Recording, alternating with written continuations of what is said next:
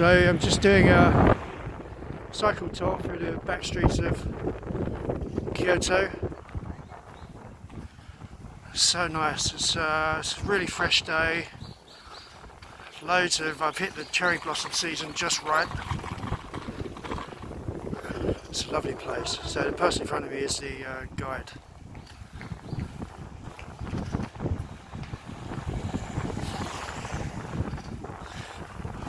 Would have been nice to done the whole day, but uh, rain's forecast. People are so polite here as well.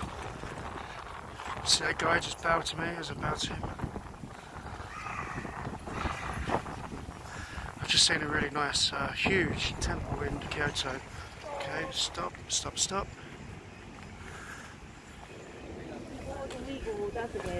Okay. We're going uh, over there.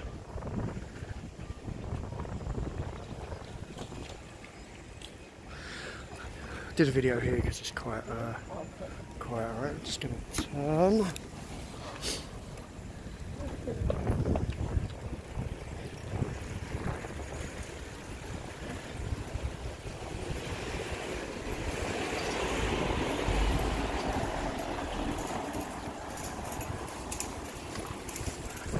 Let's go over the bridge.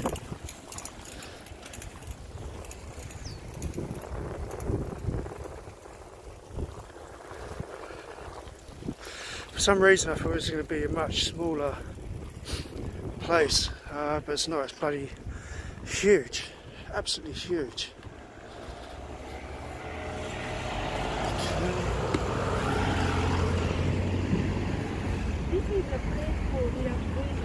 People enjoy walking, running, having a picnic.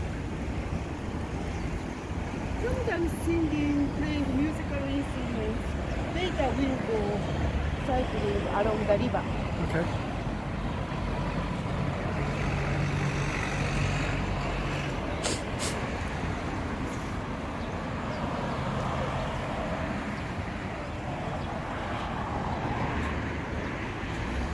So all the cow parsley's coming out now, so hopefully it'll be the same back in the UK when I get.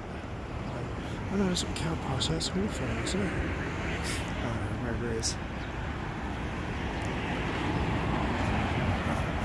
It's really nice cycling in another country. And stranger, you know, instead of just going out cycling where I live, uh, everything's interesting and different and fresh. Food here is amazing. I just can't believe I thought I was really going to struggle with enjoying the food because I don't eat seafood, but there's, there's so much and God, it's so delicious. Best fried chicken I've ever had in the world. All right, we're moving.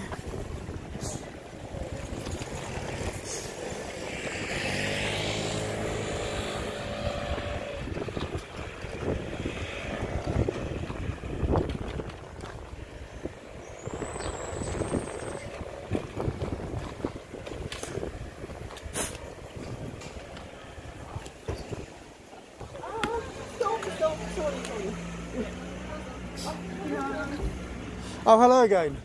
Morning. Okay, there's some other people that were at the tour. Uh, oh, okay, stopping. Just for a short stop. Sure. Okay? Because I will talk about uh, geisha in a different place, peaceful, quiet place. Okay. But uh, let's have a quick look. Uh, this is Miyagawa town, one of the five geisha in Kyoto. Is it alright to video this? Is that okay? I. I won't I'll just video you. I won't- just talking. Okay, shall, uh, may I talk? Please, please. Ah, And you see a black sign. That is a special license certified by the government to own, a to own a tea house. Tea Ah. house doesn't mean cafe. Originally, it was just a tea house to serve tea and Japanese sweets to customers. But there were more and more tea houses. The competition became more fierce. To attract more and more customers, geisha service started. Ah. The origin uh, of geisha town. Still now, their stage house is called tea house. And there are two names of Maiko. Maiko is an apprentice geisha. Oh, okay. So kind of dormitory, Maiko house, and also tea house, stage house by geisha. It's not open to the public. Uh, kind of club membership. Oh, you have to. Uh, can foreigners go as or just Japanese? Mm, if you have some, uh, uh, you need someone who has a connection of this Ah, one. right, okay. And these are the two Maikos there. Ah, this is just a poster, same one. Oh, I see. Look Oh, okay. This house. There is also black sign, so tea house and one trainee lives here. Right.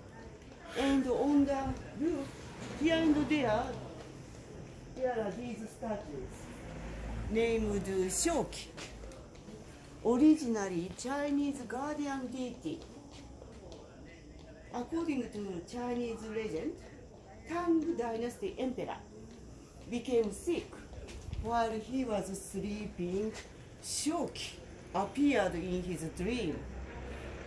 Next morning, he, when he woke up, the emperor was healed. Since then, Shoki has been considered to be a guardian deity to protect you from sickness or evil spirits. Ah, okay. The idea comes from China. But I'll talk about the geisha in a different place soon. And also, you walk around uh, Gion, the biggest geisha town. So you have more chances to see. Okay. Okay. There's, uh, there's the back for the day. Let's get back on.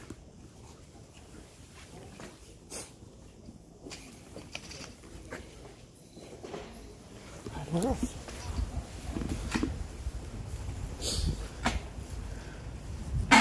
Oh. Just a bloody stand up.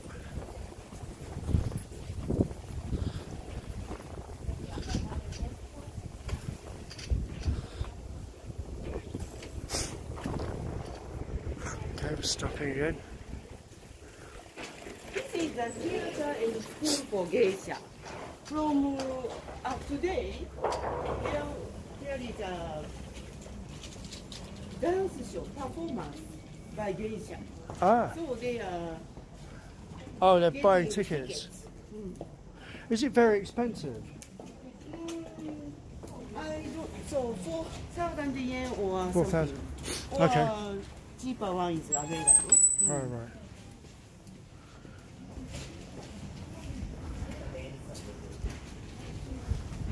Kyoto has So each town has a, a show, spring show. Yeah.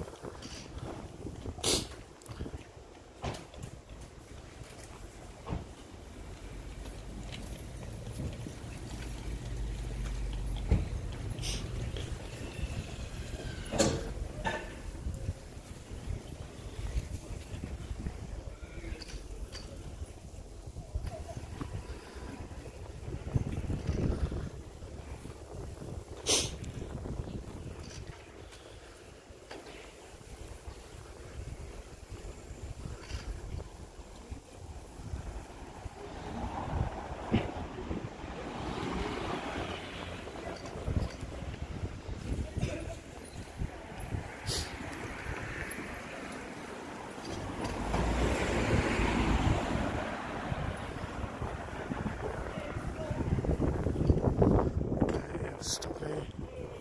For inside precinct to avoid busy traffic. There are some Okay. uh, barriers. Let's go. Right, we're walking to base now.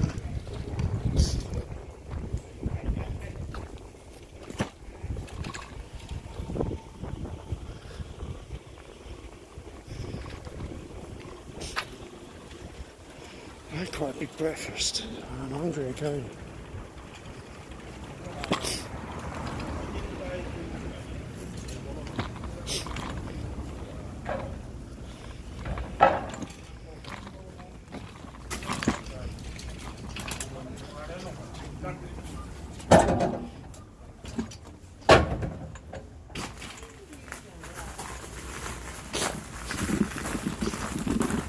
Oh.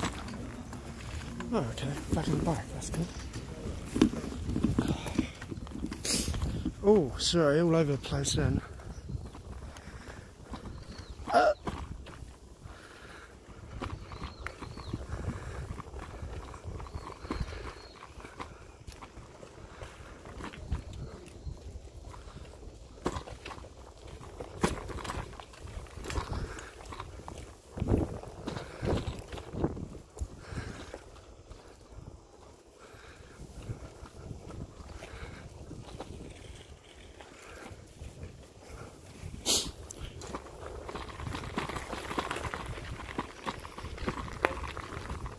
Oh, there goes my tyre.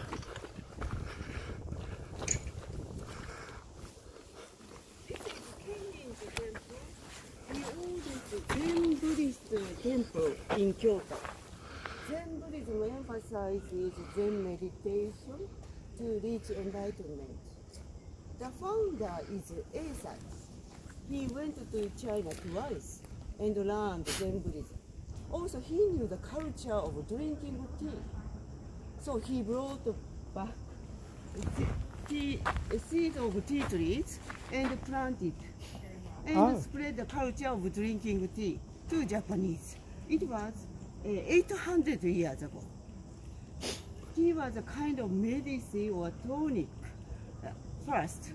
Later, it was developed into a common beverage by great tea masters like Sen no Rikyu. And a Zen Buddhist temple has sometimes a gate with three spaces between pillars. If you pass through three spaces, which will release your mind from too much desire or too much clinginess to something, or judging from just the outer appearance, they say. Now we are very close to the biggest geisha town, but it's very busy. So before going there, I'll talk about the geisha. Okay.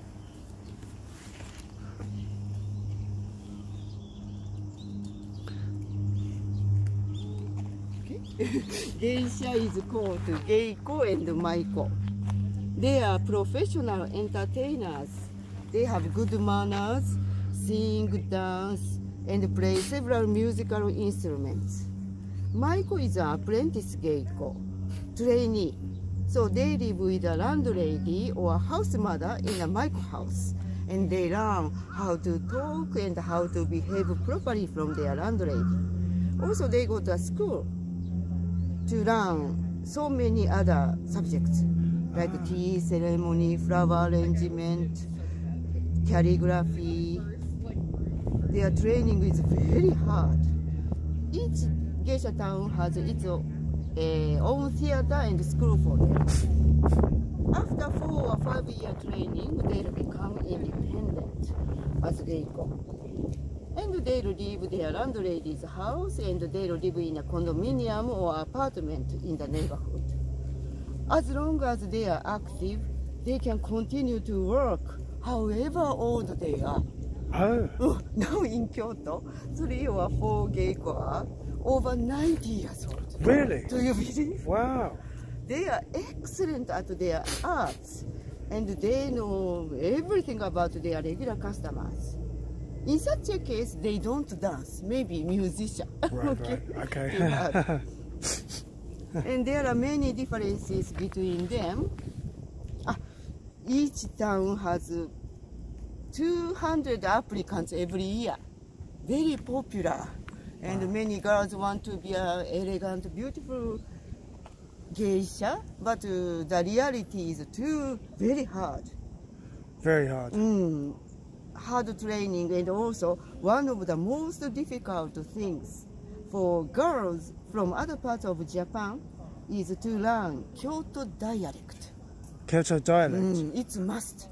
It's one of the most attractive elements. Ah. For example, do you know thank you in Japanese? arigato Yeah, yeah, yeah, yeah. In common Japanese. But they say, oh, kini. They say, oh, kini. "Oh, kini." Kirk, oh, kini. Oh, okay. So there's there's a very there's a very different uh, way. Intonation is uh, very difficult, very different. And when you enter a restaurant or shop, Usually they say, eh. Irashai, Irashaimase. But they say, eh? Koshiyasu. Eh. Koshiyasu, oh, Yeah. And uh, you saw two Maiko houses. Yep. But some Maiko house so many trainees. In such a case, they don't have their own room. They sleep side by side with artistic sisters. Wow. So lack of privacy is one of the main reasons so many girls give up. Leave, they Oh, yeah, yeah, Oh. oh. It's not my way. Oh, terrible. Yeah, yeah. Like Goodbye. someone, right? Uh, yeah, I can imagine. Wow.